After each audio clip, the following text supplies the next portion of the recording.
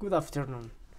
Uh, my name is Diego Valencia and my collaborators are Jose Daniel Muñoz, the professor Oscar Ricardo and the professor Luis Fernando Quiroga.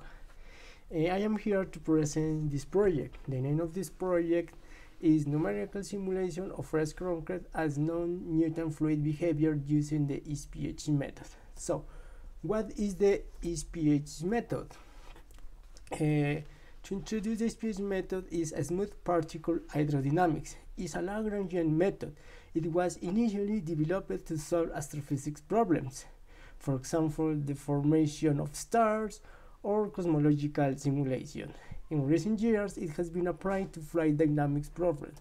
For example, waves in submarine landscapes, modeling of the volcanic debris flow applied to lahars, and in civil engineering for example some dams or dikes okay? So uh, one of the current situation is that the casting of the concrete in the formwork that forms a column can have several problems. Among of these some the bubbles that form uh, here that makes the structure weaken like this. Therefore this research is focused on the analysis of the concrete fluid in order to understand the dynamics. I mean, uh, we study how is the movement, the movement or the dynamics of the fluid. So, what is the methodology? We use the SPH method. The aim of this method is to discretize the domain of the continued infinite number of particles, like this finite particle. Each of these particles have uh, the physical quantities using the neighboring particles okay? So the SPH method the smooth particle hydrodynamics we have a scalar function which represent a quantitative physics. So this scalar function we discretize in this form and we use this form in the Navier-Stokes equations so we use these differ differential equations, the conservation of mass, the conservation of momentum, the conservation of energy. So becomes in the SPH method, we have a lot of sums here, okay, for the conservation of mass, the conservation of momentum, and the conservation of energy.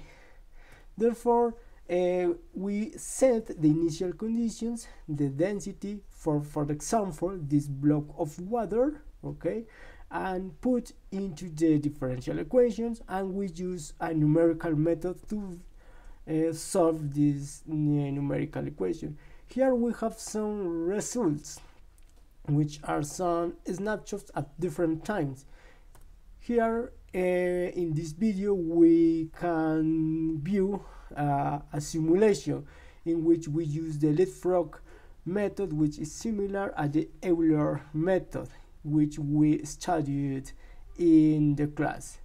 In the next part so the idea is to simulate the fresh concrete. So the fresh concrete has a viscoelastic behavior or non-Newton fluid behavior okay for this we use the cross model in which uh, we change the dynamics viscosity.